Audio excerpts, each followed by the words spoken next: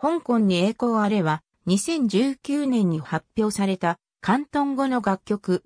同年の香港での逃亡犯条例改正案に巡るデモをきっかけに香港のネット掲示板リーフークグのメンバーであるトーマス DGX イルにより書き下ろされた。この曲はデモ参加者にテーマソング、あるいは非公式な国家に相当するものとして扱われ、2019年9月以降頻繁に歌われるようになったが、香港特別行政区全国人民代表大会代表は、香港に栄光あれを香港独立思想を広める曲だと主張し、いくつかの論争を引き起こした。2019年8月31日に動画サイト YouTube にアップロードされたこの曲は地元のミュージシャンであるトーマス DGX イルが作詞、作曲し、デモ曲ができた段階でリー・フークグ情報カリストを募集し、録音を行った。ただし、その募集スレッドでは、ボーカリストの募集だけではなく、歌詞に対する意見もトーマス DGX ウィルが求めており、正式に採用された歌詞は、リー・フークグのメンバーも作詞に参加している。なお、この曲のレコーディングミキシングには、同スレッドに議論しているメンバーも参加している。トーマス DGX ウィルによれば、参加しているボーカリストは20人以上だという。メロディは、女王陛下万歳やロシア連邦国家などを参考にしており、作詞にあたっては、李白の詩やロジンの作品を参考にしたとも言う。2019年9月10日に行われたサッカー、香港代表とイラン代表との FIFA ワールドカップ予選では、1万4000人を超える観客の多くが中国の国家に対してブーイングする一方、演奏後にはこの曲の大合唱が起こった。また、香港の十数以上のショッピングモールでもデモの一環として参加者による合唱が行われた。トーマス DGX ウィルの意向により、彼の手掛けた編曲バージョンのスコアが公開され、ストリーミングサイトクックボックスにも同曲を配信している。2020年6月30日に成立し、同日午後11時に施行した香港国家安全維持法により、当局を公衆の面前で歌う行為は、香港独立を煽る行為とみなされ、刑事罰の対象となる可能性があるとして、歌われる機会が減少している。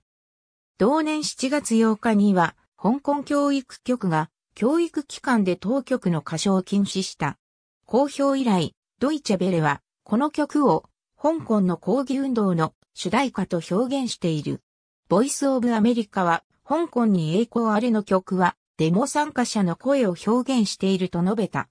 タイム氏はこの曲を、香港の新しい国家として詳細に取り上げた。台湾の自由時報はこの曲を、構想者の軍歌と表現し、香港の状況に対する不安と後退しないという革命的な精神を歌った曲だと評価した。新東人テレビはこの曲を民主主義と自由のための香港の人々の闘争の精神、権力を恐れない、粘り強さと述べた。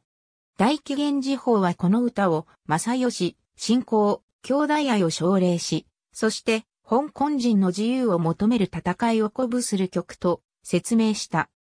また、香港立法会の元議長ジャスパー・ツァンは、この歌の高い技量とクオリティを称え、デモ隊の宣伝レベルが非常に高く、香港政府が宣伝の面ではるかに遅れていることを十分に反映していると述べた。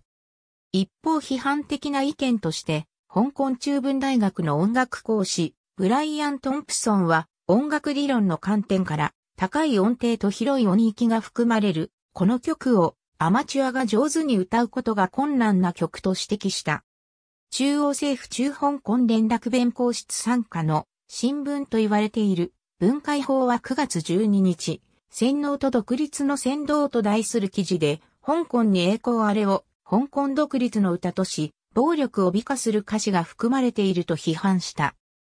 パンリチョンは9月13日に名法に、香港独立を擁護する洗脳の歌と題する記事を寄稿し、この曲は、暴力と憎しみの種であり、若者を洗脳している、エレガントな歌詞で憎悪を扇動しているとコメントし、洗脳の歌で満たされた人々が邪悪な行為を犯していると主張した。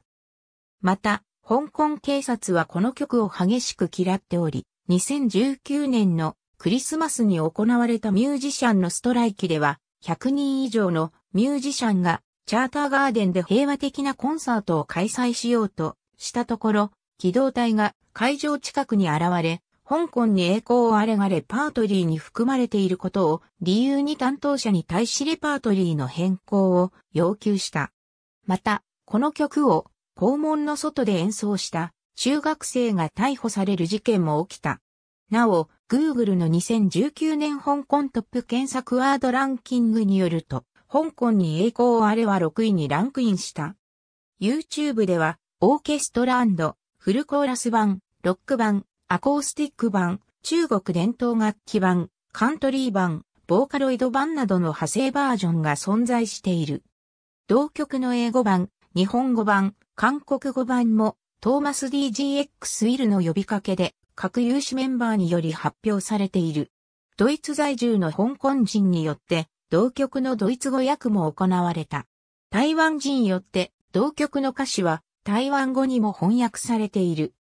また、普通中国語版、上海語版、ウイグル語版、ベトナム語版、フィンランド語版、イタリア語版、フランス語版、カタルーニャ語版、オランダ語版、エスペラント語版の歌詞版も発表されているほか、香港手話版も発表されている。ありがとうございます。